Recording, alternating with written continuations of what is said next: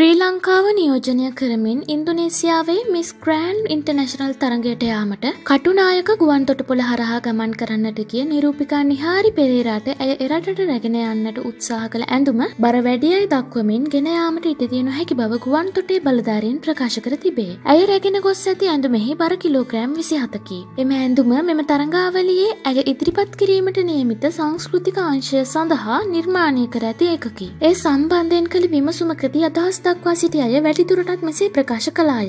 මේ මගේ national costume එක මේක තමයි වැදගත්ම එක මේක ගෙනියන්න බැරි වුණේ ගුවන් තොටුපොලෙන් තියල යන්න කිව නිසා. මගේ බෑක් සේරම බරතිබුණි කිලෝ හතලිහයි නමුත් ගෙනියන්න දුන්නේ නැහැ මට වැදගත්මක මට ගෙනියන්න තිබ අමතර බෑග්වලටත් රුපියල් අසූදාහ කමතරව ගෙවන්න වුණාමට. අන්තිමට මමාවේ මේ තරගයට ඉන්තුනීසියාවට මගේ වැදගත්ම ඇඳුම් නිර්මාණය ලංකාවි දාලා. රට නියෝජනය කරන්න යන්න අවස්ථාවකටවත් සහයෝගයක් දෙන්නේ නැත්නම් ඒ ගැන කනගාටුවක් තියෙනවා. මට මට විතරක් නෙවේ තවායට මෙහෙම වෙලා තියෙනවා රජයෙන් කිසිම සහයක් නෑ මෙවැනි තරඟවලට යන අයට. ඉන්දුනීසියාවේ පැවැත්වෙන මෙම මිස් ග්‍රෑන්ඩ් ඉන්ටර්නේෂනල් තරඟාවලිය මෙවර පැවැත්වෙන්නේ දසවන වරට වන අතර ඒ සඳහා රටවල් හැට අටක් නියෝජනය කරමින් තරඟකාරයන් සහභාගි වෙයි. තරඟාවලි ආරම්භවීමට නියමිතව ඇතේ ඔක්තෝබර් විසි පහවැනිදාය. මෙවැනි රූරජන තරඟවලදී රට නියෝජනය කරන ඇන්ටමින් සැරසී කරන ඉදිරිපත් කිරීම එම තරඟාවලේ ඉතාමත් වැදගත් අංගයක් වේ.